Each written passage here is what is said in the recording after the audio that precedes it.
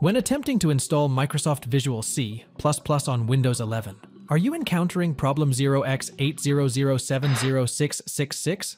Here are four easy ways to get around it. Click on the Fix-It Tool download link. Click on the Download Troubleshooter button. Locate the downloaded file on your PC and double-click on the executable file. In the appearing window, click on the Advanced option, as shown below. Ensure Apply Repairs automatically checkbox is being checked and click on the Next button. Click on Installing, choose the problematic package. The system will suggest probable fixes. Try out both of them and check what works in your case.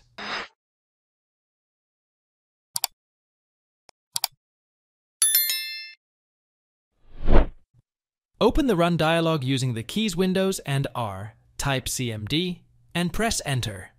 In the command prompt window that opens, copy-paste the below commands one after the other. cdc userso percent username percents downloads vc underscore redist dot x 64 dot exe slash uninstall. You will see a window popping up. Click on the repair button. Follow the on-screen instructions and complete the repair process.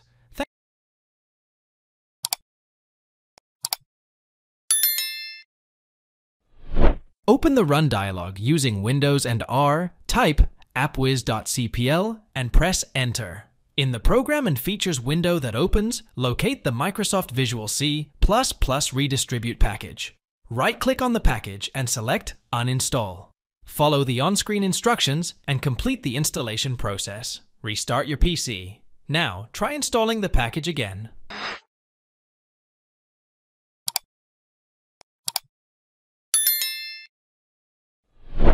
Open the Run dialog using the keys Windows and R. Type the below command and press Enter. MS Settings to Windows Update. In the appearing window, click on the check for updates. Once the updates are being installed, restart the system. Thanks for watching. If it helps, make sure to hit like and subscribe.